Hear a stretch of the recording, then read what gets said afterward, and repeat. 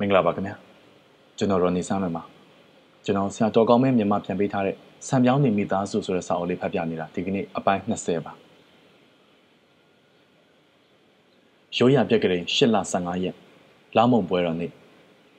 ကောင်းမင်းမျိုးရဲ့ဈေးနေကြီးစစ်အတွင်းကာလဆိုပေမဲ့ပြည်သူတွေအသက်ရှင်ရအောင်မယ်လေ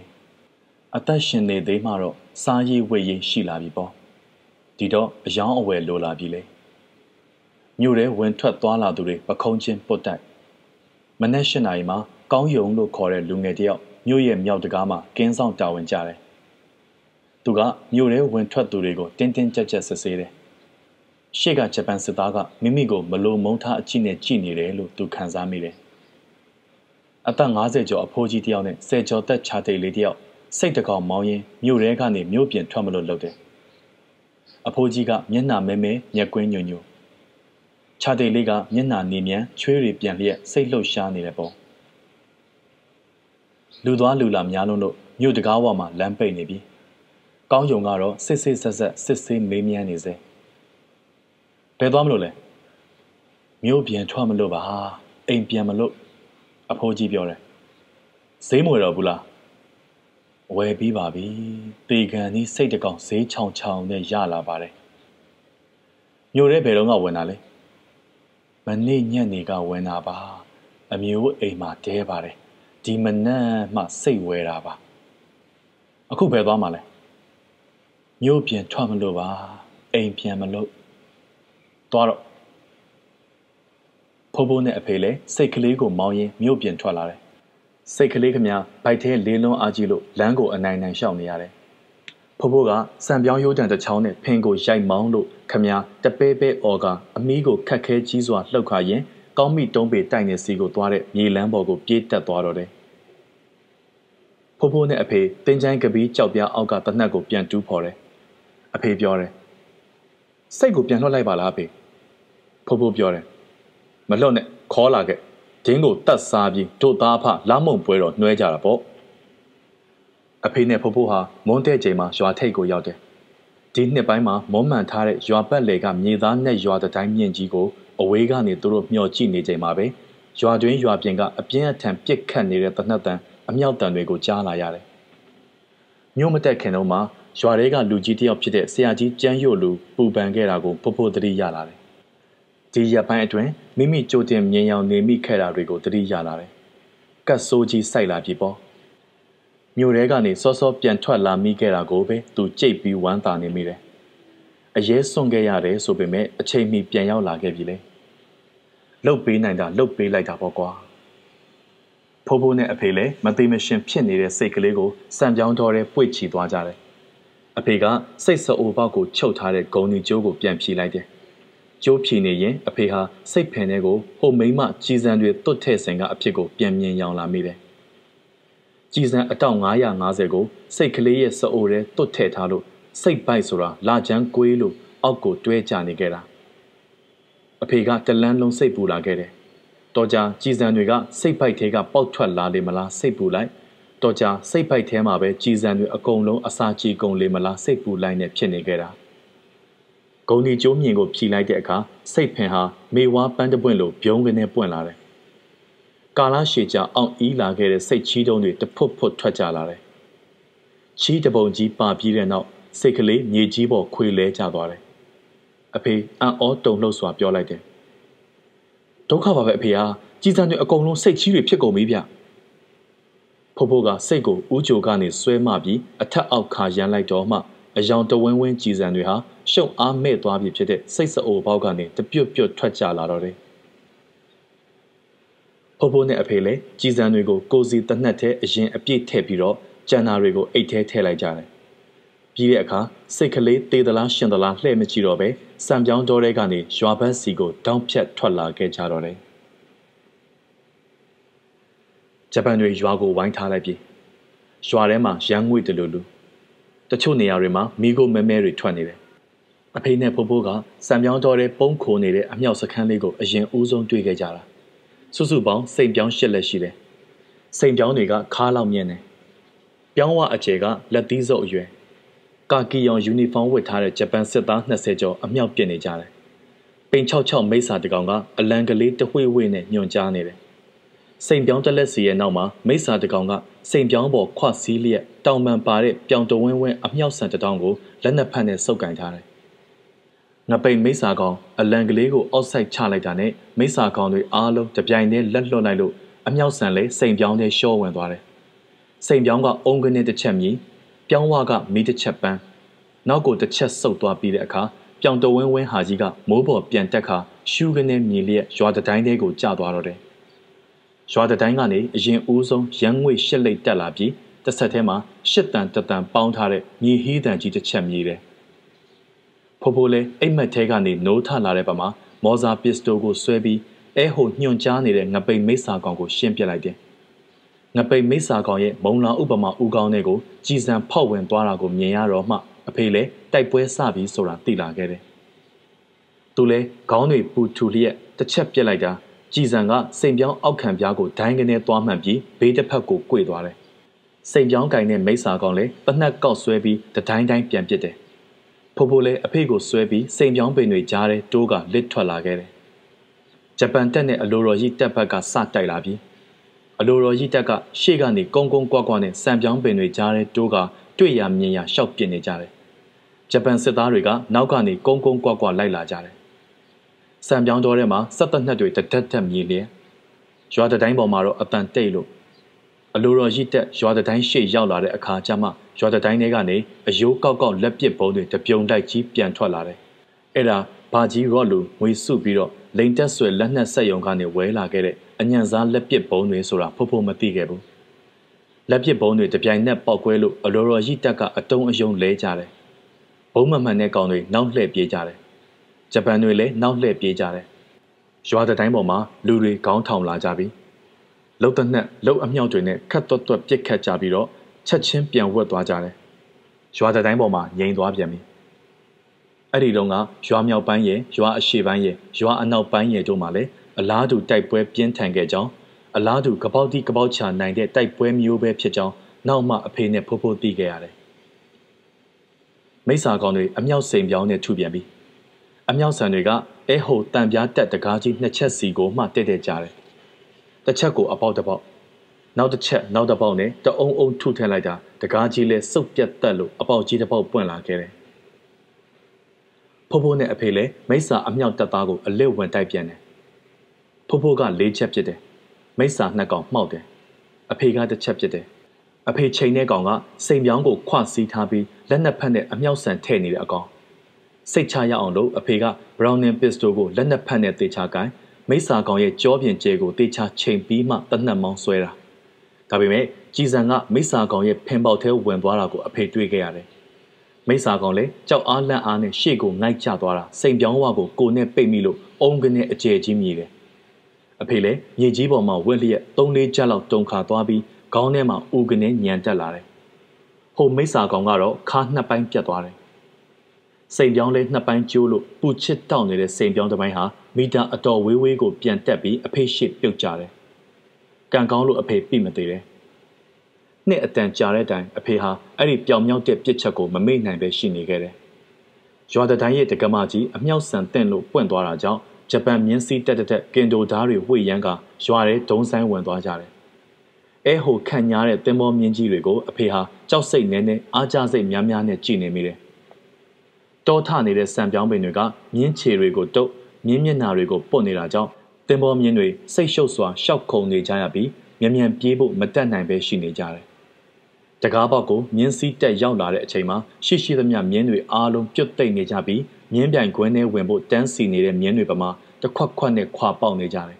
။တတိုင်းမုတ်ဦးရဲ့ဘေးတစ်ဖက်စီကနေမရေမတွက်နိုင်သောထွန်ကျစ်တွေထဲတွေအုတ်ကျိုးအုတ်ပဲတွေလွင့်ပြန်လာကြတယ်။ပူချစ်တောက်နေတဲ့စံပြောင်းစံပြုတ်တွေတောင်ပါလိုက်သေးသလိုပဲ။ မြင်းစည်းစစ်သားတွေလည်းအလန့်တကြားအော်ဟစ်ခါခေါင်းကိုအုပ်ထားကြရတယ်။တင်ပေါ်မြင်းတွေလည်းလန့်ဖြတ်လို့ခွာတွေမြောက်တက်လာတယ်။တချို့ကရွာထဲပြေးဝင်ပြီးတချို့ကလည်းနောက်ပြန်လှည့်ပြေးလာကြတယ်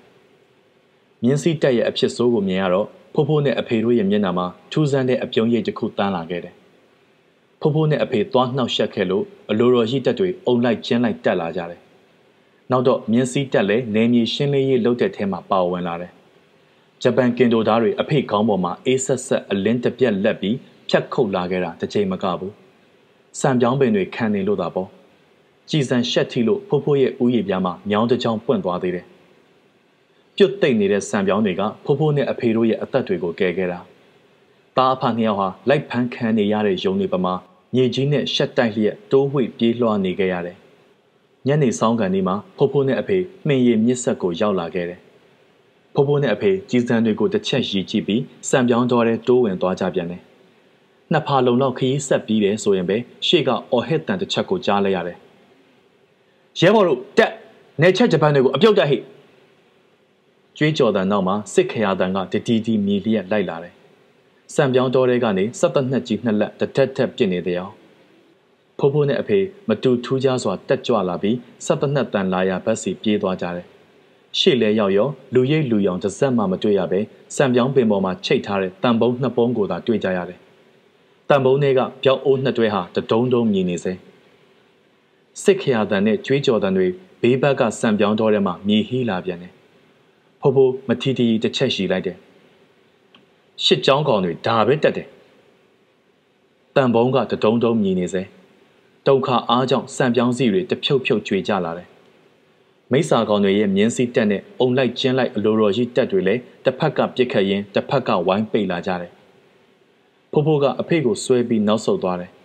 ခါမှာလက်ပစ်ဘုံတွေချိတ်ထားတဲ့ရှစ်ချောင်းရဲဘော်တချို့ကုန်းကုန်းကွာကွာပြေးလာတယ်။တနက်ကင်ထားတဲ့ရှစ်ချောင်းရဲဘော်တယောက်မြေကြီးပေါ်ဒူးထောက်လျက်ပင်မောမြင်းတွေရှောက်တိုးလို့ရိမ့်ထိုးနေတဲ့စံပြောင်းပင်တွေစီကိုတနက်တစ်ချက်ပြက်လိုက်တယ်။တနက်တန်ကစီတုဘူးတလုံးပြက်ပေါက်တံပမာဆုပ်ဆုပ်ချာချာတနက်ပြစ်ပြီးတဲ့ရှစ်ချောင်းတက်သားက မောင်းပြန်ဆွဲပြီးကြီးကွန်ထုတ်တာဘလို့မှဆွဲလို့မရဘဲဖြစ်နေတယ်။တင်ပေါ်မြင်းစီပြေးတက်သွားတယ်။မြင်းပေါ်ကဂျပန်စစ်သားရဲ့ပြောင်လက်နေတဲ့ကင်တိုသားကြီးအဲဟိုရှစ်ချောင်းရဲဘော်ရဲ့ခေါင်းပေါ်ပိုင်းချလိုက်တာကိုအဖေမြင်လိုက်ရတယ်။ရှစ်ချောင်းရဲဘော်လည်းတနက်လွတ်ချပြီးထွက်ပြေးတာပေါ့။တင်မော်မြင့်ကသူ့နောက်ကိုအမိလိုက်ပြီးကင်တိုဓာကြီးနဲ့ခေါင်းကိုနှစ်ချမ်းပိုင်းထည့်လိုက်တယ်။အုံနောက်အနှစ်တွေစံပြောင်းရွက်ပေါ်လွင့်စင်ကုန်တယ်။အဖေလည်းမိုက်ခနဲ့ဖြစ်ပြီးမြေကြီးပေါ်ခွေလဲကြတယ်။ ဂျပန်မြင်းစည်းတက်ကြောင်အဖေနဲ့ဖိုးဖိုးလူချင်းကွဲသွားတယ်။နေလုံးကြီးကစံပြောင်းပင်ဖျားကိုရောက်နေပြီ။စံပြောင်းတော်တဲ့မှောင်ရိပ်တွေအကွက်လိုက်အကွက်လိုက်ထင်လာပြီးအမွှေးနုနုမြေခွေးကလေးသုံးကောင်အဖေရှိကနေကိုယိုကာယာဖြစ်သွားကြတယ်။အဲ့ဒီထဲကမြေခွေးလေးတစ်ကောင်ရဲ့အမီးဆုပ်ဖွားလေးကိုအဖေလှမ်းဖမ်းလိုက်တာချက်ချင်းဆိုသလိုပဲစံပြောင်းခြုံထဲကနေရေးကြီးတုတ်ပြဦးတန်ကြီးတတန်ထွက်လာပြီးတော့မွေးနေမြေခွေးကြီးတစ်ကောင်ပြုံးဆူခုံထွက်လာပြီး အဖေကိုအဆွဲဖြဲပြကမန်ဖီလာတယ်။အဖေလည်းမြေခွေးလေးကိုကြပြကြရပြန်လှုပ်ပေးလိုက်တယ်။မြေခွေးကြီးကမြေခွေးလေးကိုခေါ်ပြီးပြန်ထွက်သွားတယ်တနတ်တန်ကရွာရဲ့အရှိအနောက်မြောက်ဖက်သုံးမျက်နှာစီကိုတောင်ပြန့်နှံ့သွားပြီရွာတောင်ပိုင်းမှာတော့မတူထူးခြားစွာတိတ်ဆိတ်ငြိမ်သက်နေတယ်အဖေကဆဆချင်းမှတိုးတိုးခေါ်ပြီးနောက်ပိုင်းမှာတော့အကျယ်ကြီးအော်ခေါ်လာတယ်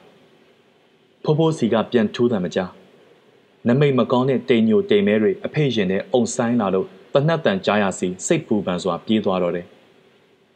စံပြောင်းတော့တဲ့အလင်းမှိန်သက်ထက်မှိန်လာပြီစီးစာနေရောင်အောက်ကဆံပြောင်းနှံတွေသူ့ကောင်းပေါ်မှာခြောက်ချားပွဲကောင်းစွာစုပြုံလာတယ်။အဖေငိုးပြီးဖိုးဖိုးကိုလိုက်ရှာတဲ့လမ်းမှာရှစ်ချောင်းရဲဘော်အလောင်းသုံးလောင်းကိုအဖေတွေ့တယ်။အားလုံးကင်တိုဓာတ်နဲ့အပိုင်းခံထားရတာ။မှောင်ရိပ်ထဲမှာတေနေတဲ့သူတို့မျက်နှာတွေကကြောက်စရာကောင်းလာတယ်။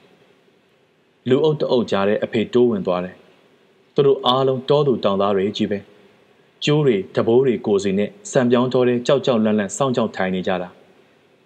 အဖေမေးတယ်ခမရတို့ကျုပ်ဖေကိုတွေ့မိသလားဗျသူတို့မေးတယ်လူလေးရွာတကားပွင့်သွားပြီလားသူတို့အတန်ဟာကောင်းကျိုးလေတံမှန်အဖေနားထောင်လို့သိတယ်အဖိုးကြီးတယောက်သူ့သားကိုအထက်ထပ်မှားနေတာကိုလည်းအဖေကြားခဲ့ရတယ် ငွေတိုင်းငွေတိုင်းတေချာမှတ်ထားနော်ဂုံးကအဆုပ်လဲယူခဲ့နော်အိုးတလုံးတော့အရင်ဦးဆုံးရှာခဲ့ကွ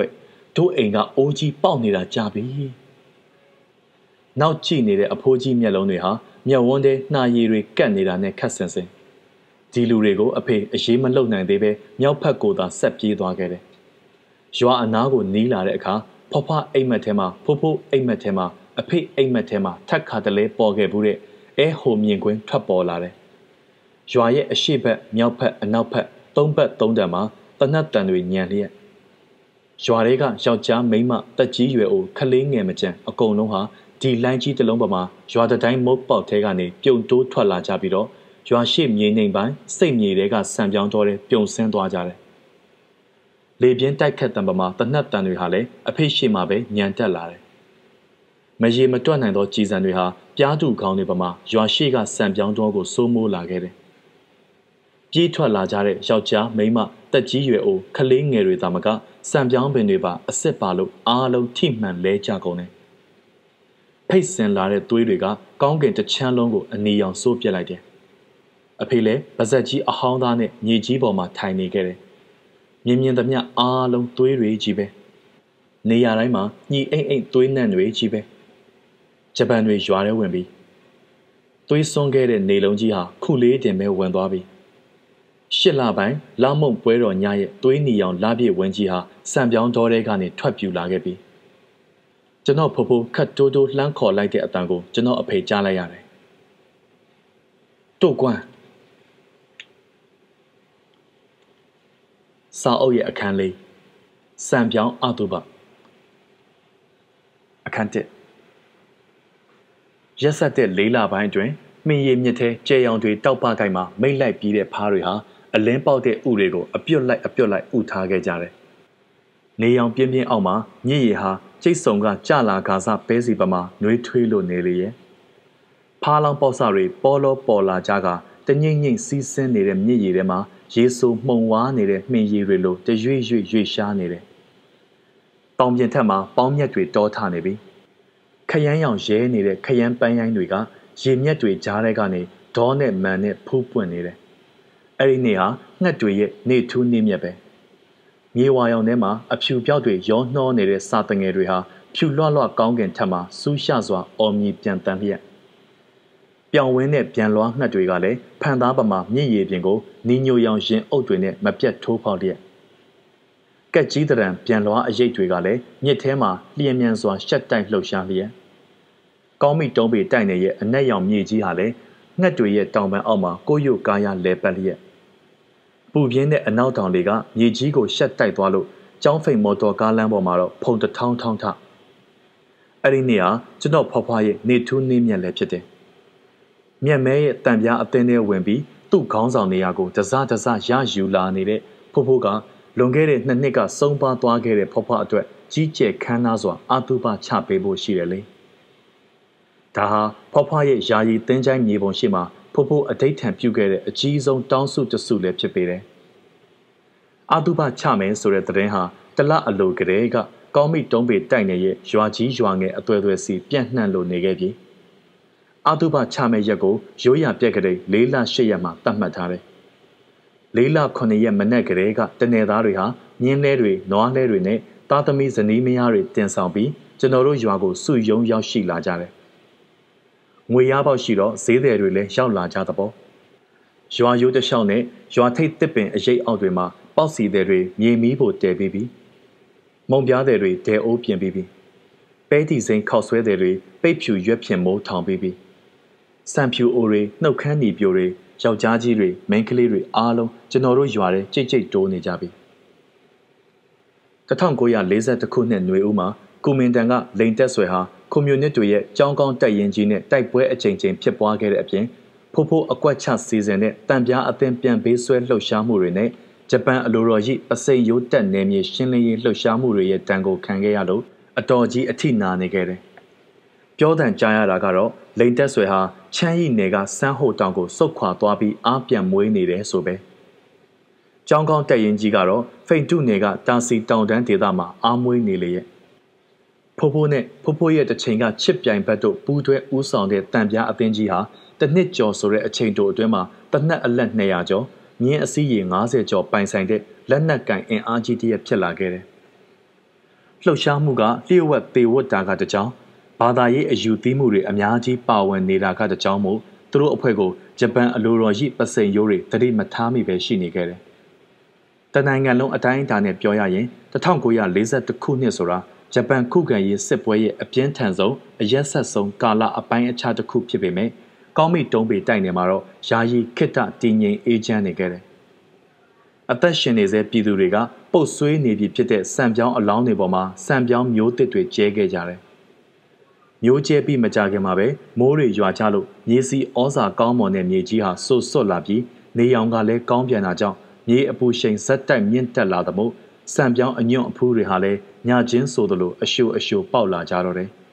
။နူးညံ့တဲ့လုံးချုံပုံအညွန့်နေနေတွေရဲ့ထိတ်မှာရှင်းတန်းတဲ့နှင်းဥကလေးတွေဥလို့နေတယ်။ရိတ်သိမ်းချိန်ရောက်ဖို့အချိန်တစ်ချိန်စောင့်ရအောင်မှမို့ဖွားဖွားအာတုပချမဲ့ရဟာလေယာလုပ်ငန်းအားလက်ချိန်နဲ့လာတိုက်ဆိုင်နေခဲ့တယ်။ ခုနှစ်ရက်ညနေဆောင်1939ခုနှစ်ရိုးရပြက်ကလေး၈လ15ရက်ကမီးဘေးကြောင့်ဖြစ်ပေါ်လာခဲ့တဲ့ရွာတွေကတိုက်ပြက်အုပ်ကျိုးပုံတွေထဲမှာလူတွေကြိတ်ကြိတ်တိုးနေပြီဖုန်တထောင်းထောင်းထနေတဲ့ရွာရိုးတစ်လျှောက်မှာခိုင်နွားတရိษံတွေဖြုတ်ထားပြီးဖြစ်တဲ့လှဲတွေအမြောက်အများရပ်ထားတယ်တစ်ပင်တွေလှဲတဘိုးတွေမှာမြင်းတွေနွားတွေကိုလန်ထားတယ်စီးစာနေအောင်ကတရိษံတွေရဲ့အမွှေးဟောင်းတွေကျွတ်လို့ပျောင်ချောနေတဲ့အရေပြားပေါ်ကိုကြာရောက်လို့နေတယ် အရွက်ငယ်သေးတဲ့တစ်ရွက်တွေဟာလည်းနေရောင်ထဲမှာသွေးနေရောင်ရဲလျက်တရိษံတွေရဲ့ကြောပေါ်မှာရှေးဟောင်းဒင်းကားတွေပမာအရေးထင်လျက်ရှိနေလေတယ်။နေဝင်ချိန်မှာရွာအနောက်ဘက်လမ်းမကြီးကနေစေးစရာတယောက်လာစီးကရောက်လာတယ်။သူ့ရဲ့မဲချိတ်နေတဲ့နှာခေါင်းပေါက်ထဲကနေပြန်လွှားတောင်မှန်ပမာအမွှေးနှစ်ဆကော့ထွက်လျက်ပူအိုက်တဲ့လေးလရာသီနဲ့ဘလုံးမမလိုက်ဖက်တဲ့တကလက်အုတ်ထုတ်စုပ်ကသူ့ဦးကောင်းတဲ့နှစ်ဖူးတို့ကိုဖုံးအုပ်ထားလျက် ဆွေဆောင်းဆောင်းမျက်ခုံးမွေးအောက်မှာကအေးဆက်ဆက်မျက်လုံးတစ်စုံရွာထဲရောက်တာနဲ့ဆေးစရာကလားပိန်ညောင်ပေါ်ကနေခုံဆင်းပြီးလက်တစ်ဖက်ကရွှေရောင်ပြက်ပြက်ကြေးခေါင်းလောင်းကိုတီးလျက်ကြံလက်တစ်ဖက်မှာအစိမ်းရောင်ဂုံဒီကျိုးတစ်ခွေချိတ်ခါရွာလေကောင်စီကိုဟန်တလုံးပန်တလုံးရှောက်လာခဲ့လေတယ်။လားကတော့အတော်အိုနေပြီ။အမွှေးဟောင်းတွေကျွတ်လို့မစင်သေးဘူး။အမွှေးတစ်ပေါက်တဲ့နေရာမှာပြောင်လက်နေပြီးအမွှေးဟောင်းကြံနေသေးတဲ့နေရာမှာမဲတူးတူးဖြစ်နေလို့ ကြည့်လိုက်ရင်တကိုယ်လုံးဓာတ်တွေပေါက်နေသလားအောင်မေးရတယ်။လားကမကြမကြဆိုသလိုခရမ်းရောင်တဖုံးတွေကိုတော့ဖုံးမထားနိုင်တော့လောက်အောင်တွဲကြနေတဲ့အောက်နှခမ်းကိုတစ်ချက်စီတတ်တယ်။မျက်လုံးထက်ကဂျိုင်းကွက်ကြီးနှစ်ခွက်ကတော့ကြက်ဥနှလုံးထဲ့နိုင်လောက်တဲ့အထီကိုဟောက်ပတ်ကြီးဖြစ်နေတာ။ဆေးစရာကသူ့လားပိန်ညောင်တဲ့အတူဈေးထဲလျှောက်ပတ်တယ်။အာတုဘပွဲကြည့်လာသူတွေသူ့ကိုဝိုင်းကြည့်ကြတာပေါ့။သူနဲ့သူ့လားကအထူးအဆန်းလိုဖြစ်နေတာကို ကြေးခေါလောင်းတန်ကလည်းဗဟေလိတစ်ခုလိုထူးဆန်းနေတယ်လေ။ဒီလိုနဲ့သူ့နောက်ကိုလူတအုပ်လိုက်လာခဲ့ကြရင်တထောင်းထောင်းထလာတဲ့ဖုံတွေဟာဆေးစရာရဲ့ချွေးတန်ရွှဲရွှဲမျက်နှာပေါ်နဲ့တကိုယ်လုံးချွေးစော်နန်းဟောင်းနေတဲ့သူ့လားရဲ့ကြောပေါ်တွေကိုလာဆင်ကုန်တယ်။သူလည်းမျက်လုံးကလေးပုတ်ခတ်ပုတ်ခတ်နဲ့နှာမှုတ်ရင်နှာခေါင်းပေါက်ထဲကအဲဟိုအမွှေးမဲနှစ်ဆဟာလည်းကပေါတိကပေါချလှုပ်ခါလှုပ်ခါရှိလိုနေတယ်။ဆေးစရာကဆူရှကျဲလောင်တဲ့နှာချီတန်တတန်ကိုအားဆိုင်ချီလိုက်သလို လားကလည်းဤတွေတပူးဘူးပေါက်လို့လာတယ်။လူတွေလည်းကြောင်တောင်တောင်ဖြတ်သွားပြီးမှဝါကနေပွဲကြကုန်ကြပြီးဝရုံသုံးကားလူစုခွဲကညအိတ်တဲခိုဖို့နေရာတွေကိုစီသွားရှာကြတော့တယ်။စမ်းသစ်ဆလာချမ်းကွေထွက်လာပြီးတဲ့နောက်ရွာထဲမှာအမှောင်ရိပ်လွှမ်းစပြူလာတယ်။ရာတော်စီကနေလေအေးတွေတိုက်ခတ်လာပြီးမှင်ရည်မျက်စီကဖားအော်တန်အကျယ်ကြီးတွေလွင့်ပြန်လာပြီ။အာတုဘပွဲကြီးတွေရွာထဲကိုတဖွဲဖွဲရောက်လာကြပြီ။ ရွာထဲမှာနေလို့မရသူတွေရွာပြင်ကဆံပြောင်းတော်ထဲသွားနေကြတယ်ဒီအာတုဘပွဲကြီးလည်းပြီးရောကျွန်တော်တို့ရွာကနေမှင်ရည်မြစ်ဆက်အထိလမ်းတစ်လျှောက်ကမူတထောင်လောက်ရှိတဲ့စံပြောင်းမြေတွေလည်းလူတွေတက်နေတဲ့ဒဏ်နဲ့မာတောင့်ကုန်လို့စံပြောင်းအညောင်တွေမြေကြီးထဲပြန်ဝင်သွားကစိမ့်ဖန့်ဖန့်အရေးတွေဖြစ်သွားကုန်ကြတယ်။ငားလာပိုင်းရောက်လို့နောက်ထပ်တစ်ချိန်မိုးကြီးချလာတော့မှပဲမာကြောနေတဲ့မြေကြီးတွေတဖန်ပြန်ပြီးဆိုပြေလာခဲ့တယ်။မသေးပဲကြံရစ်ခဲ့တဲ့စံပြောင်းပြိုးပင်တွေလည်း ညက်ရိုင်းတွေကြားထဲကနေကြန့်ကြန့်ခံကဓာသွားပမာရိုးတံတွေပေါက်လာကြတယ်။စံပြောင်းရိုးတံရွက်တွေနဲ့မျက်ရိုင်းတွေကြောင့်ဖြစ်ပေါ်လာတဲ့လောင်ရိပ်အောက်မှာတန်ကြီးစိမ့်စိမ့်တက်နေတဲ့ကြေးဝါကြီးကွန်တွေဖုံးကွယ်ခံလိုက်ကြရလေပြီ။လာစီဆေးဆရာဟာမှောင်ရီရီအရေးထဲမှာခေါင်းလောင်းတီးလျှောက်သွားရင်းနှာခေါင်းကနေလည်းအကဲပိုစွာမကြမကြနှာချီလို့နေတယ်။ရွာလဲကောင်မြေလန်းကိုရှောက်လာခဲ့ပြီးတဲ့နောက် ဖိုးဖိုးတို့တန်ပြားအတင်းကယာယီထိုးထားတဲ့တဲကြီးဘေးပတ်လည်မှာသူကလာပတ်ပြန်တယ်။တဲကြီးကထိုးထားတာခန့်ခန့်ညာညာကြီးမို့ကျွန်တော်တို့ရွာမှာတခါမှမမြင်ဘူးတဲ့အဆောက်အအုံမြင်ကြီးပဲဖွားဖွားရဲ့ခေါင်းတလားကဗဟိုတဲထဲမှာထားထားတာတဲထဲကနေဖျောင်းတိုင်မီးရောင်တွေဖြာထွက်လျက်တဲဝမှာပစ္စတိုချိတ်ထားတဲ့တံပြားအသင်းသားနှစ်ယောက်စောင့်နေတယ်သူတို့နှစ်ယောက်ရဲ့ခေါင်းပေါ်ကသပင်လေးပုံတပုံစာလောက်ကိုအပြောင်ရိတ်ထားသမို့စိမ့်ဖန့်ဖန့်ဥပြင်းတွေပေါ်လို့နေတယ် တံပြားအသင်းသားတွေအားလုံးဟာဒီကေနဲ့ကြီးပဲမှုမြင်ရတာနဲ့တင်ခက်လန့်လန့်ဖြစ်ရတယ်တဲတဲကြီးရဲ့ဘေးပတ်လည်မှာခြံရံထားတဲ့တဲငယ်ကလေးတွေထဲမှာတံပြားအသင်းသား200ကျော်ဖြန့်ကျက်နေရယူထားကြတယ်။ဝဝဖီဖီစစ်မြင်းအစီး90ကျော်ကိုလည်းမိုးမခပင်ရဲ့ကွေးညွတ်နေတဲ့တစ်ကိုင်းတစ်ကိုင်းမှာခြိထားတယ်။မြင်းတွေရဲ့ရှေ့မှာစက်ချင်းအရှိကြီးတစ်ချင်းရှိတယ်။မြင်းတွေဟာနှာမှုတ်ခွာရှက်ရင်အစာနဲ့ရလို့ဝိုင်းအုံလာတဲ့ပထမအတုပ်ရင်ကောင်တွေကိုအမီးနဲ့ခါထုတ်နေကြတယ်။ မြင်းထိန်ကစက်ချင်းတွေကိုမြင်းစာတွေတွန်ထည့်ပေးလို့မိုးမခပင်အောက်မှာတူးနေအောင်လှော်ထားတဲ့စံပြောင်းစံစည်းတွေရဲ့မှုရင်းနှံတွေကြိုင်လှိုင်နေတော့တယ်။ဆေးဆရာရဲ့လားပိန်ညောင်ဟာမြင်းစာနဲ့မှုမွေးလေးတွေရဲ့ဆွဲဆောင်မှုကြောင့်မြင်းအုပ်ဘက်စီကိုပဲအတင်းလှည့်နေတယ်။ဆေးဆရာကလည်းအေးဆက်ဆက်အပြုံးနဲ့လားအုပ်ကြီးရဲ့တနာစပွဲမျက်ဝန်းကိုကြည့်ရင်တကိုယ်တည်းပဲပြောနေသလိုလားကိုပဲပြောနေသလိုပြောလိုက်တယ်။စားပြီလားကွာ။ဟေးဒီမဲ့ငါပြောပြမယ်။ အတိတ်ရန်ကြွေးမရှိပဲလာမစုံဘူးဥစ္စာမက်လို့လူသေးအစာမက်လို့ငှက်ကြည်တဲ့ပြိုရွယ်သူတို့စံဖြူအိုကိုမရေကြနဲ့ပန်းဆိုတဲ့အမျိုးဘယ်နဲ့ရက်များဖူးပွင့်နိုင်မှာမို့လဲအလျှော့ပေးလို့ရတဲ့နေရာအလျှော့ပေးလိုက်အလျှော့ပေးခြင်းသည်နှုံအားခြင်းမဟုတ်အဲ့ဒီဂျေဇုနောင်မှသိမယ်လာစီဆေးဆရာရဲ့ယူပေါ်ပေါ်ပြောစကားတွေနဲ့ခိုးကြောင်ခိုးဝက်အပြုတ်မှုတွေကို ပရိသတ်ထဲအရက်ဝက်နဲ့ဝင်ရောနေတဲ့တန်ပြားအသင်းသားတွေတတိထားမိသွားတယ်သူ့နောက်ကိုတံပြားအသင်းသားနှစ်ယောက်လိုက်လာတယ်။သူ့ပါဇက်ကပေါက်တက်ကြရတွေပြောရင်းခေါင်းလောင်းစုပ်ကိုနှိမ့်တက်ခါမြန်တလက်တီးရင်မြင်းအုပ်အနီးကိုနောက်ထပ်တစ်ချိန်လှည့်လာချိန်မှာတံပြားအသင်းသားနှစ်ယောက်ကသူ့ကိုရှေ့ကတစ်ယောက်နောက်ကတစ်ယောက်ပိတ်ပြီးတနက်ကိုစီနဲ့ချိန်ထားလိုက်တော့တယ်။ဆေးဆရာဟာတစ်စက်ကလေးမှမကြောက်ပဲအမောင်တဲကနေသာကြေကွဲဖွယ်ရည်တန်းတတန်ထွက်လာလို့ တနက်ကင်ထားတဲ့တံပြားအသင်းသားနှစ်ယောက်ရဲ့လက်တွေလည်းအလိုလိုတုံရင်လာတယ်မီးသွေးမီးပမာတောက်လောင်နေတဲ့ဆေးဆရာရဲ့မျက်လုံးအစုံကိုတံပြားအသင်းသားနှစ်ယောက်ထဲကရှေ့ကတယောက်ကတွေ့လိုက်ရပြီးနောက်ကတယောက်ကတော့ဆေးဆရာရဲ့ရည်တံထဲမှာလေပင်တောင့်တောင့်ကြီးဖြစ်နေခဲ့ပြီးလားပိန်ညောင်ရဲ့အရေးကြီးဟာနေရန်တစ်ချက်ပမာမြေကြီးပေါ်ရိုင်လဲကျသွားတယ်။မြင်းအုပ်ထဲကမြင်းနှစ်ကောင်ကလည်းအစာလူရင်ဟီကင်နဲ့ထကြိုက်ကြတယ်။ ဘဟိုတဲကြီးထဲမှာဖျောင်းတိုင်နီနီရဲရဲကြီး24တိုင်ထွန်းညှိထားတယ်။ဖျောင်းတိုင်မီကတစ်ဖြက်ဖြက်ခုံနေလို့တဲတဲကအလင်းရောင်ဟာထိတ်လန့်တုန်လှုပ်စွာရှိနေခဲ့တယ်။ဖွားဖွားရဲ့နင်းညိုရောင်ခေါင်းတလားကြီးကိုတဲရဲ့အလဲဘဟုမှာချထားတယ်။အဲ့ဒီနင်းညိုရောင်ပေါ်မှာမှဖျောင်းထိုင်မီအလင်းရောင်ကရွှေရောင်တစ်ထက်ထက်ကုတ်ပေးလိုက်လို့အထူးလျှို့ဝှက်စမ်းကြဲတယ်လို့ဖြစ်လာတယ်။ခေါင်းတလားပတ်ပတ်လဲမှာစက်ကူဖြူနဲ့ခောက်ထားတဲ့နှင်းထင်းရှူနှင်းမိုးမခပင်တွေစီထားတယ်။ ခေါင်းတလားရဲ့ဘယ်ဘက်မှာအစိမ့်ဝတ်တငယ်တယောက်နဲ့ညာဘက်မှာအနီဝတ်တငယ်မတယောက်တို့ကခြံရံထားတယ်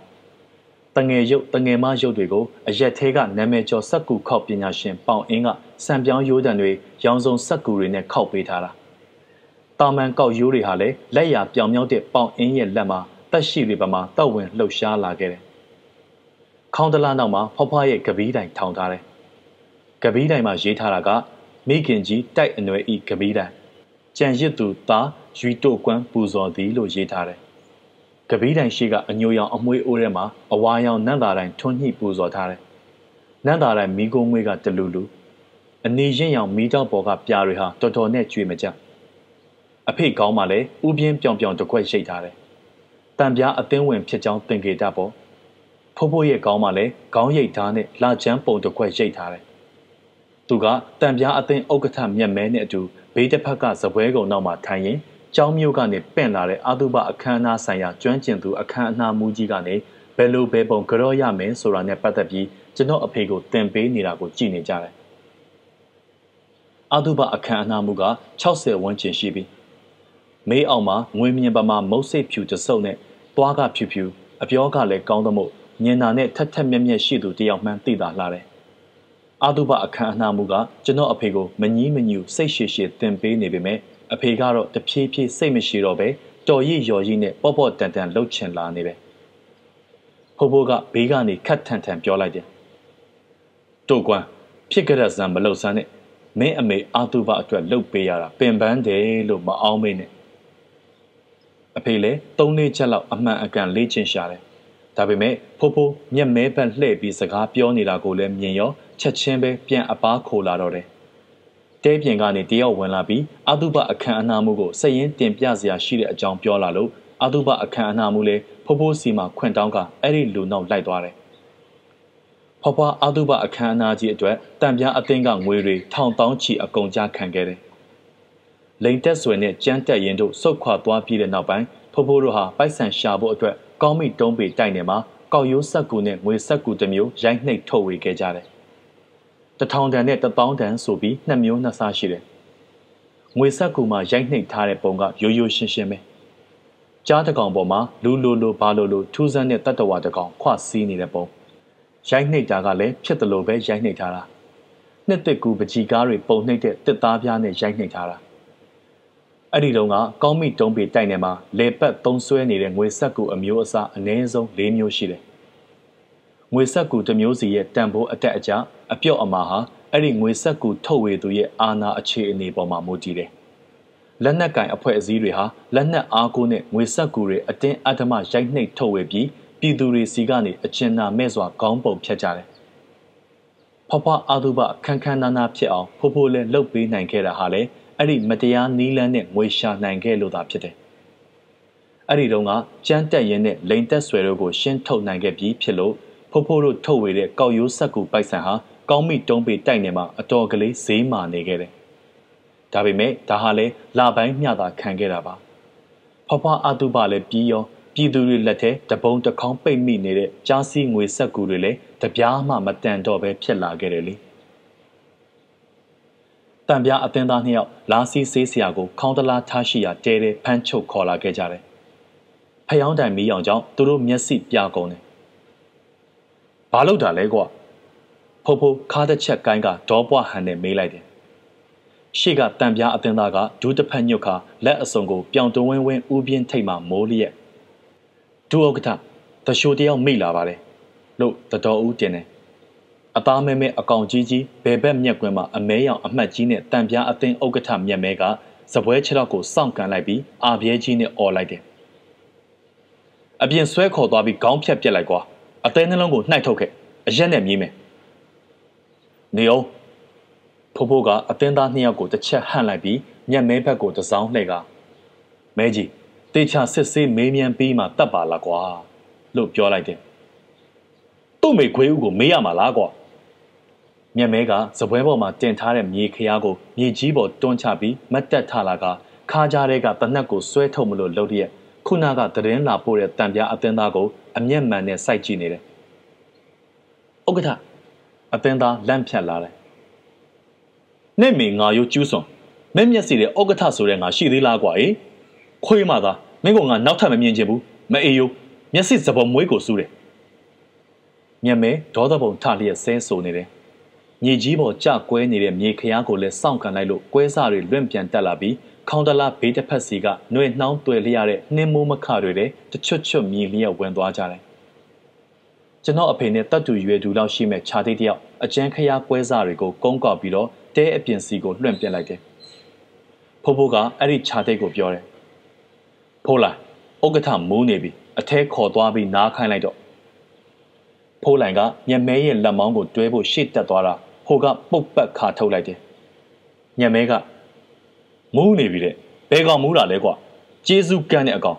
ငါအပင်မန်းခံတီထောင်ထားတဲ့လုပ်ငန်းမှာမင်းကလာပြီးအသင့်ခူးစားမလို့ပေါ့လေကြားဆွဲလာတဲ့အမဲခွေးဝုံကိုကျွေးရမှာလားကွာဟဲ့ကောင်မင်းအချောင်နိုင်မယ်မကြမ်းနဲ့တော့မျက်မဲတို့မျက်စိတဲ့တဲအဝယ်မခံဘူးကွာမင်းငါအကြောင်းသိမယ်လို့ပြောလိုက်တယ်ဖိုးဖိုးပြောတယ်မဲကြီးကို့လူတွေအများကြီးရှိမှမင်းမရှက်ဘူးလားကွာဖိုးဖိုးမျက်နှာမှာရက်ဆက်တဲ့အပြုံးရိပ်တန်းနေတယ် နှုတ်ခမ်းတောက်မှာကရက်ဆက်တဲ့အရစ်နှစ်ကြောင်းမျက်မဲကခါကြတဲ့လက်နိုင်ပြီးတနက်လက်ကင်ကိုကင်ဆန်းလျက်နာနေတဲ့ကွဲအပ်အပ်တန်ကြီးနဲ့သွားစမ်းကွာမအေးယိုနင့်ခွေးမသားတွေကိုခေါ်ပြီးလစ်လိုက်တော့လို့អော်ပြောလိုက်တယ်ဖိုးဖိုးပြောတယ်ဖျားဆိုတာမျိုးကပင့်ရလွယ်သလောက်ပြန်ပို့ရခတ်တယ်ကွမြက်မဲကတနက်ကိုဆွဲထုတ်ပြီးဖိုးဖိုးကိုတရွယ်ရွယ်လုပ်တယ်ဖိုးဖိုးကအရက်ခွက်ကိုမြှောက်ပြီးတငုံဆုပ် ပါကြီးဖောင်းလာအောင်ပလုတ်ကျင်းပြီးတော့ရှေ့ကိုလဲတစ်ချက်ဆန့်ကပါဇက်ထဲကအရက်တွေကိုမျက်မဲမျက်နှာတဲတဲ့စီဖူးကနေမှုတ်ထုတ်လိုက်တယ်ဖိုးဖိုးကလက်ကောက်ဝစ်ကိုတစ်ချက်ကော့တင်လိုက်တာအဲဟိုကြက်ဥအရွယ်အစိမ်းရောင်ကျွေးအရက်ခွက်ကမျက်မဲရဲ့ပစ္စတိုပြောင်းဝကိုသွားမှန်ပြီး